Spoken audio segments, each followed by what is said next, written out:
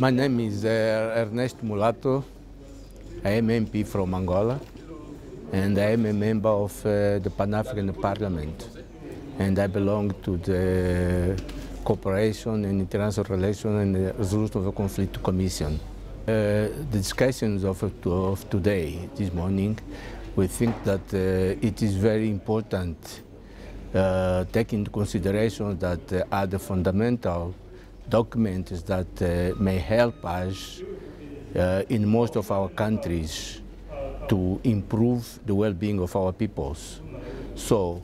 we discussed uh, the AGA, which is the architecture of the governance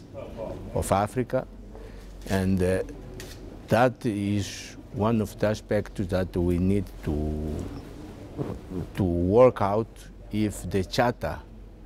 African charter, can be ratified uh, from uh, most of our governments, because so far very few have done so. So what we're discussing here to see the mechanism, the ways that it can be done. How can we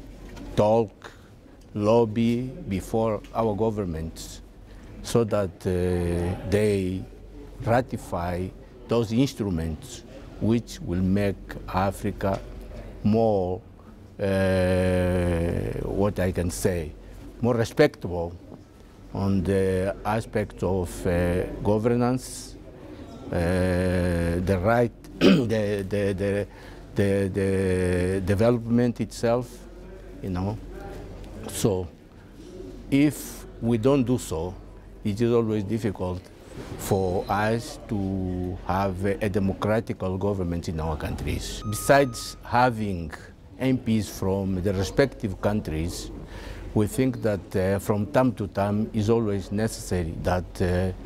the, the, the, the, the, president or vice president, they should often visit some of our countries and uh, to try to lobby and to talk so that they can reinforce whatever we are trying to do uh, before our national uh, parliaments. So I think that is very important